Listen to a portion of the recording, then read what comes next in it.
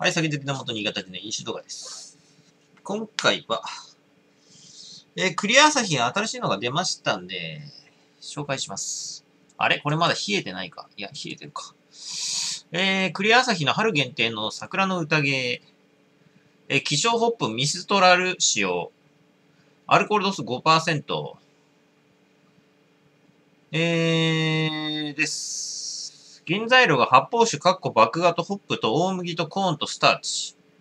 えーと、大麦、えー、じゃねえや、間違えた。えー、スピリッツ、カッコ、大麦です。えー、希少ホップとは世界、えー生産量1%未満のホップのことです。らしいです。クリア朝日はね、あのーあの、普通のクリア朝日はあんまり美味しくないんだけど、あの、うん。こういう限定品はね、あの、すげえうまいんですよね。なんとなく。なんとなく美味しい気がします。ということで、ね、今日の、えーつまみはこちら。えー以前 Amazon で、えー購入しました。えーと、確か1キロ2000円ぐらいで購入した。えっ、と、今もね、あの、梅干し、あの、Amazon のカテゴライズの、あの、梅干しで、えーカテゴリー1位か3位ぐらいの、あの、普通の梅干し。白干し梅ってやつね。これがすっげえ酸っぱいんですよ。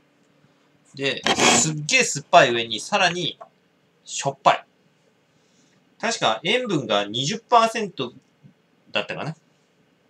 ものすごいしょっぱいんです。完璧。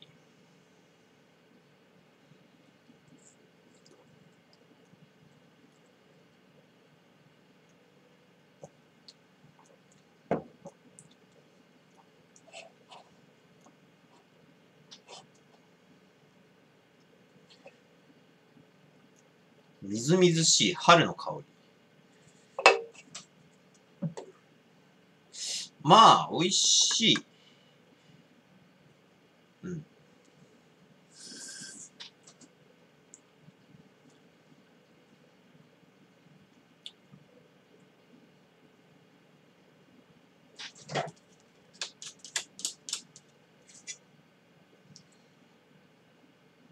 お、なんだこれ。アサヒビールご愛読、ご愛飲感謝キャンペーン。だって。これちょっと応募してみよう。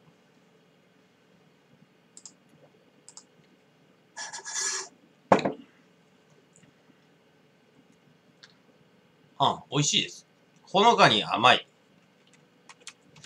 ような。うん。ほのかになんかあれだな。甘みがあるね。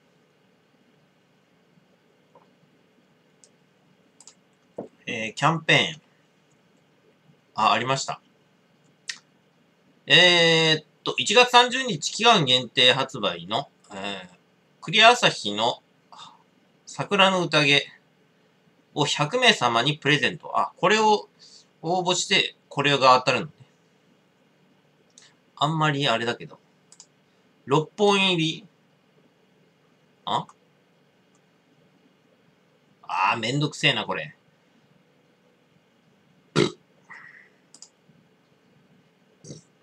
ああ、これあれか、いちいちメールアドレスとか入力する系か。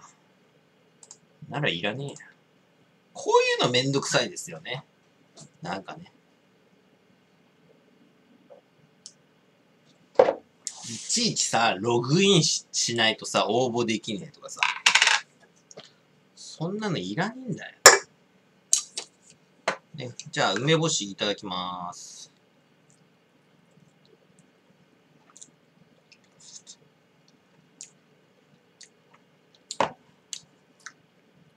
うわ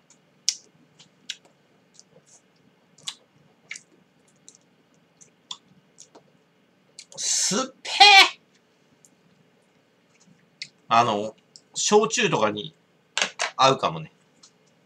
俺はあの、梅干しを、あの、焼酎の中にポトンって入れて、こう混ぜてさ、飲んだりするじゃん。ああいう飲み方は大嫌いで、なんかまずいんですよ。嫌いなんですね？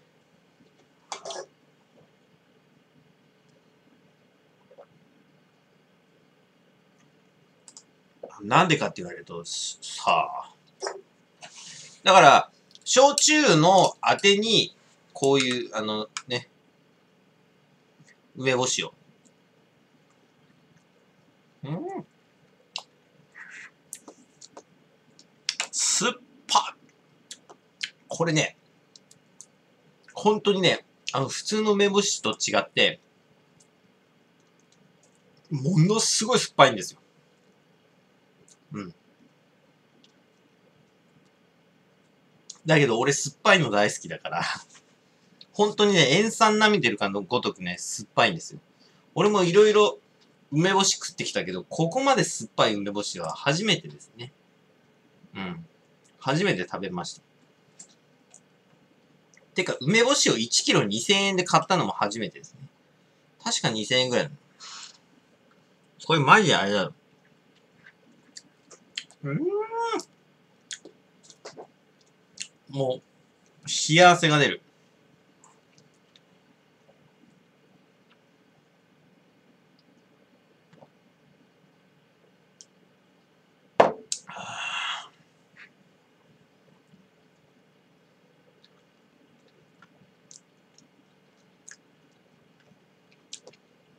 でもね、これをね、酒のつまみにするとね、あの、ビールはあんまりあれかもしれないけど、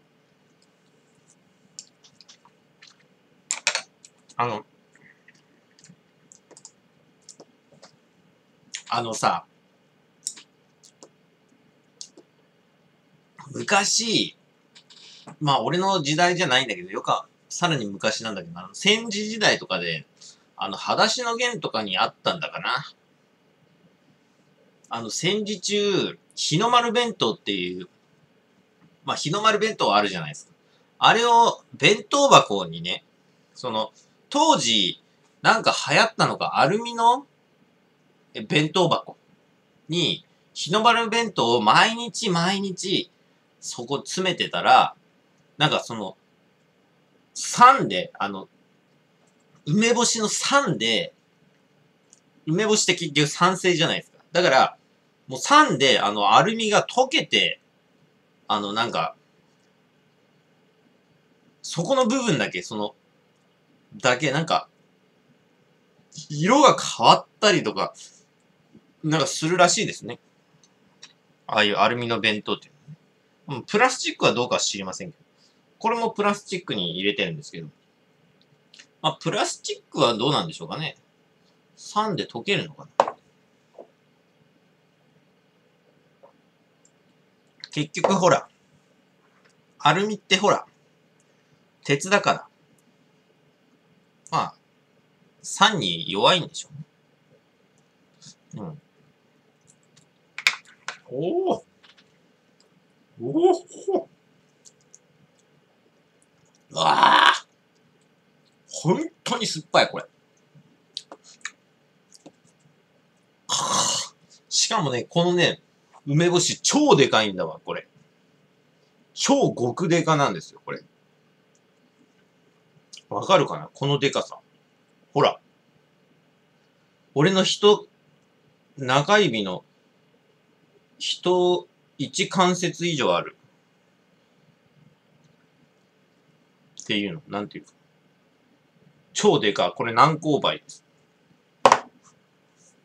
これ梅干しは本当に好きなんですけど、あの、コンビニのおにぎりあるでしょ？あれ俺絶対買うのが梅干し。梅干しのおにぎり。これ絶対。一番好きなんですよ、梅干しのおにぎり。本当に。やっぱり、おにぎりは、梅干し。限るんだよな。ああ。なんか酸っぱいもの食べたからか、やけにビールを飲むと甘く感じるな。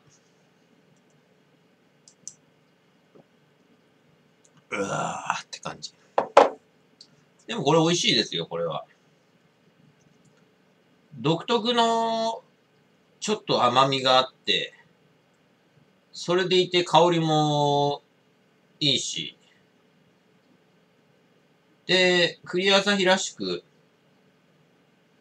こう、まあ、味はそこまで薄い、濃くはないんだけど、まあこれそもそも第3のビールで、まあこの味ならボンボンバンバン剤でしょ、これ。うん。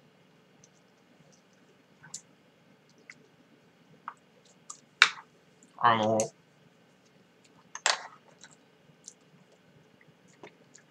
昔さ、駄菓子屋で、てか駄菓子で、あの、梅虎兄弟っていうのがあったんですよ。まあ今もあるんですけど。あれが当時、あの4つ入ってたんですよね。カリカリ梅みたいなやつが4つ入ってるんですよ。で、で、あの、今は、あの、原、原料高騰によって3つになっちゃったんだよね。うん。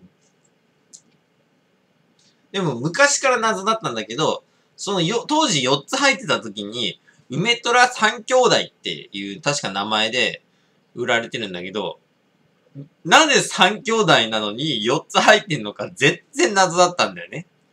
昔から。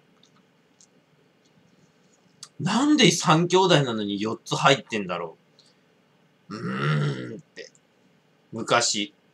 てか、今考えてもよくわからないね。駄菓子ってそこら辺、あの、意味不明なのはあるからね。ああの、結構あるんだけどさ。でも今はさ、3つになったんで、梅虎三兄弟っていう、あの、名前にちゃんとしっくりくるんだけど、やっぱり、ねえ、1個減ったのはでかいですよ、ガキにとっては。あれが確か30円だったんですけど、ああれすごい美味しかったんですね。カリカリ梅で、カツオ梅だったのかな。カツオの風味の、あの、カリカリ梅だったんですけど、あの、結構よく食ってて、で、手がね、この人差し指とな、あの、親指が、もう毎日のように食ってたから、まあ毎日のようにっていうかね、だいたい食うと、ここがすっげえ着色料で、ここが赤くなるんですよね。ここのところがね。指がね。ものすごい赤くなって、うん。うちのね、兄ちゃんとね、よく食べてましたよ、あれは。美味しかった。すげえ好きだった。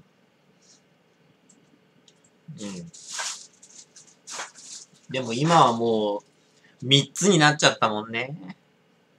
なんでもかんでも高騰高騰って言ってさ、あのさ、駄菓子もさ、高騰するじゃん。で、大体さ、お菓子って大体100円までとかってさ、あのー、感じでさ、買ってもらうじゃん。結構きついよね。うん。ガキにとっては結構きついもんであるよね。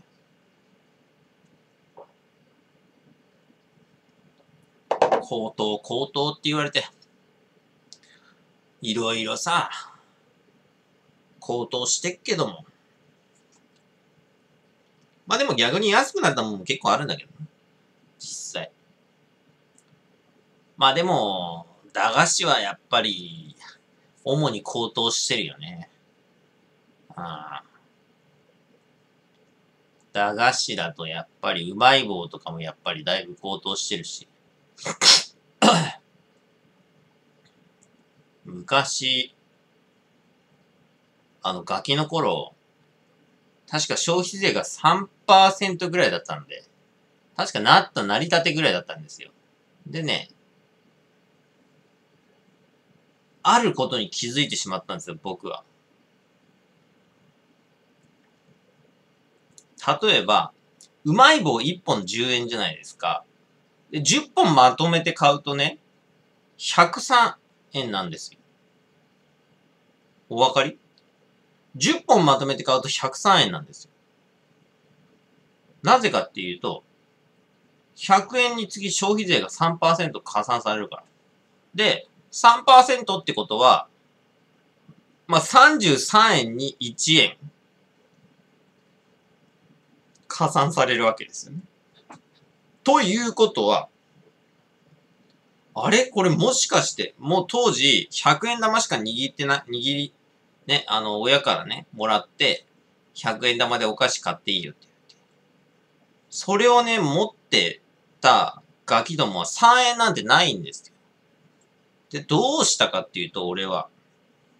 そう一本ずつ買ったんです。ね。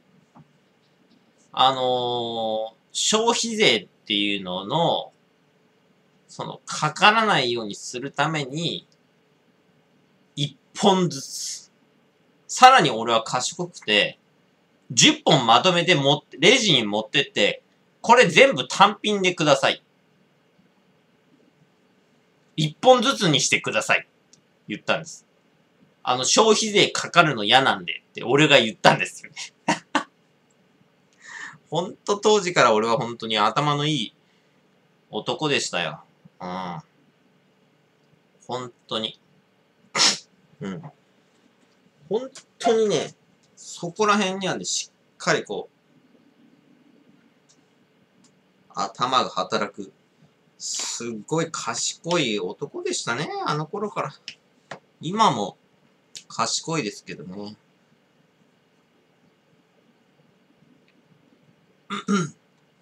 これ結構甘みありますね、やっぱり。ほのかな。香りもそこそこあるし。これは美味しいっすね。まあ、期間限定っていうのは、まあ惜しいですけど、でもまあ、これはやはり、まあ僕は行かないですけど、あの、は、花見もうあと2ヶ月ぐらいあるかな。花見にね、ぜひ持ってって、飲んでみてください。え、2344です。ご視聴ありがとうございました。